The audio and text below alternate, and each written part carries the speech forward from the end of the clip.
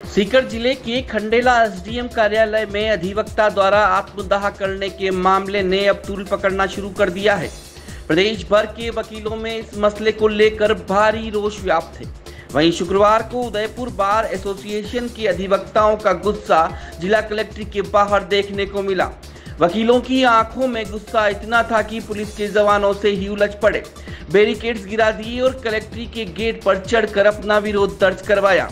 आपको बता दें कि सीकर ज़िले के खंडेला एसडीएम कार्यालय में अधिवक्ता हंसराज मावलिया ने एसडीएम राकेश कुमार द्वारा प्रताड़ित करने का आरोप लगाते हुए कार्यालय में ही खुद पर पेट्रोल छिड़क कर आत्मदाह किया और एसडीएम को भी पकड़ने का प्रयास किया, जिस पर एसडीएम राकेश कुमार ने अधिवक्ता को धक्का देकर अपनी जान बचाई।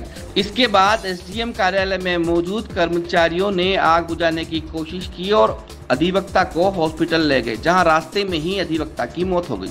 अपने साथी की मौत के बाद पूरे प्रदेश के अधिवक्ताओं में भारी रोष है और हर जगह से आरोपी एसडीएम की गिरफ्तारी की मांग पुरजोर तरीके से उठाई जा रही है।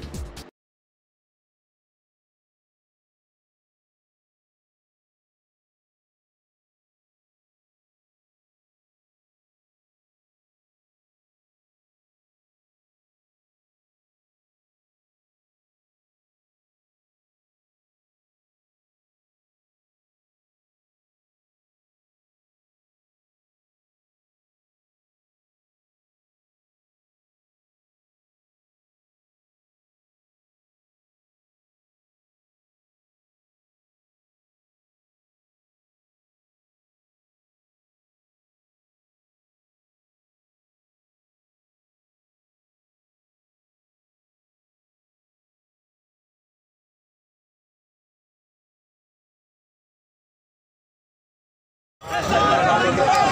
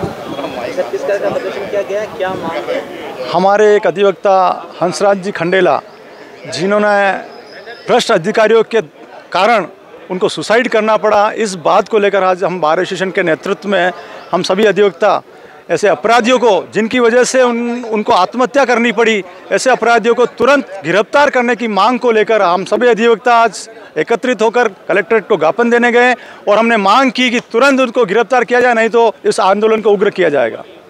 हर बार प्रदर्शन होता है शांतिपूर्ण करने की बात भी कही जाती है लेकिन हर बार मौका ऐसा ही जाता है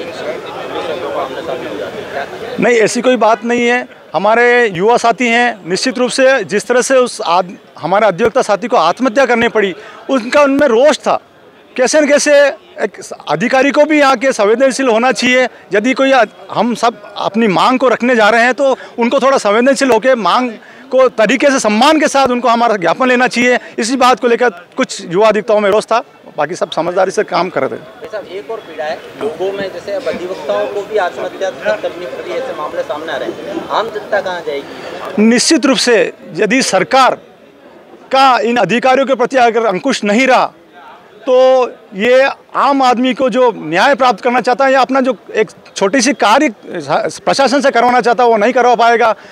आप देखिए इस उदयपुर संभाग में या उदयपुर में ही देखिए, जो आरएस अधिकारी हैं या पुलिस अधिकारी हैं, कई वर्षों से यहीं टके हुए हैं।